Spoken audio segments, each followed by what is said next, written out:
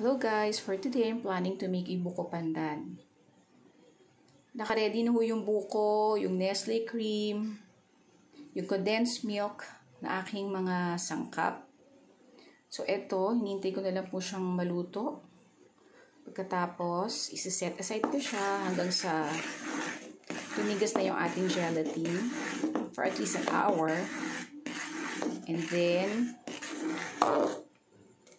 okay na po yung ating gelatin na 1 hour, pwede na po siyang cut into small sizes.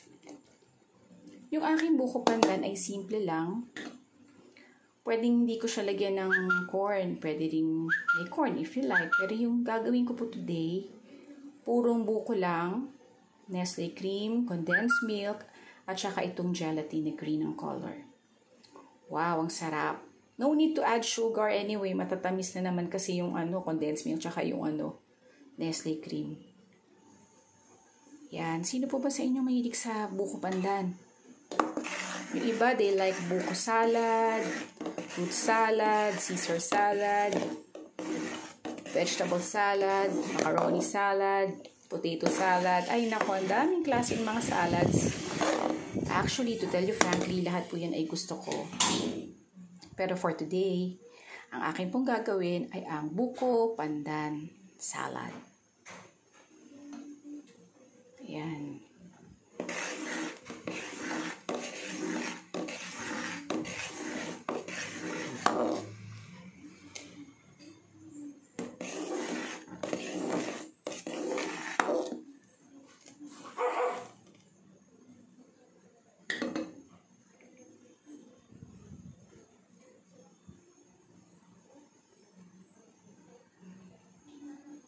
Napakadaling gawin po ng buko pandan. Simpleng-simple lang.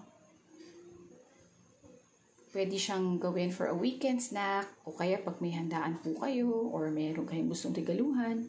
Simple lang, walang kahirap-hirap sa paggawa. Ayan, marunong na kayong gumawa ng buko panda.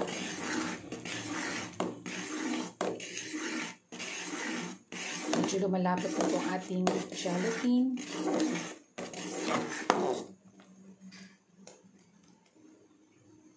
Okay, so mayamang konti. O-off na natin kulan. Tapos, isa-set aside na ito at ilalagay sa mga lalagyan. After an hour, ikakat ko na ito into small sizes. See you guys!